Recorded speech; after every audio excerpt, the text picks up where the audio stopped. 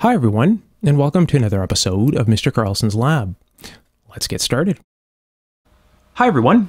Pardon the miking and the lighting and everything here. I'm setting up the new lab. Uh, for those of you that don't know, uh, this has been well explained on Patreon and I've explained all the steps there. But for those of you here, I haven't really talked a whole lot about the lab move. So what's happening is I'm trying to consolidate all the labs into just one area so that way I can make videos faster and show everybody more of the process here and on Patreon. And that's the reason I've taken this huge move on. So the intro that you see normally, which you know looks like this right here, is at the old lab. Well, this here is the new lab, and everything you can see here has been moved, and a whole lot more. There's still actually about 60% of the stuff at the old lab and uh, there's yeah just an amazing amount of stuff to move. And uh, yeah for all of you that have uh, been on this channel for a while you can imagine how much weight that is. So this is what's happening. So this is the new lab that's being put together. And of course that new antenna is up here so that you can do radio restorations. This is one of the areas. There's actually four areas being put together here. Three actively being built right now and four that are going to come together in the end which will pretty much allow me to explain and show you all of the repair and restoration processes with a lot more efficiency, right? Because uh, before there was a lot of moving around to do all of this type of stuff. So this here, where there used to be uh, test equipment at the old place is uh, now just parts and pieces and you know shelving and things like that's a little bit of test equipment here uh, some things in queue to you know be res- restored and things like that you can see that the the actual bench and the desk is still pretty much set up the same as the old lab just because it works well with my workflow.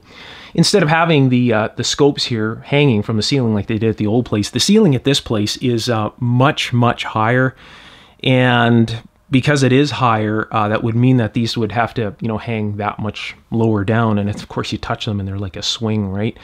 So I figured this would just be a, an easier way of doing that. This is the way the camera is normally mounted. The camera that's looking at this right now is the same camera that you see there. And uh, that's normally my miking. I'm just using a, a, portable microphone on the actual camera right now to record this. So again, uh, pardon the audio. So this is the new work area here, and uh, there's more parts and pieces over here, uh, multiple computers for just different things. Over in uh, in that area over there, some of my monitoring speakers for mastering the audio and things like that. So this is the new area. This is uh, coming together, one of the new areas, and you know this is uh, where I do the surface mount stuff. By the way, right down in here, and uh, you know just the regular work on the bench there. So the bench that's uh, being put together in another area right here is very much similar to the old time work area, which will be used for much larger equipment and things like that. So let's uh, go take a look at that area now. All right, let's go take a look at the next area here. So this is where the old-time workbench is. You can see some of the storage units here, storage racks and boxes and some more storage there. This whole thing is being put together right now. You can see the old-time workbench over here with some shelving. So I tried to make the the old-time workbench level with the shelving so I have more room to slide some of the larger equipment in. Pardon the shaky camera here. This camera is very heavy to hold.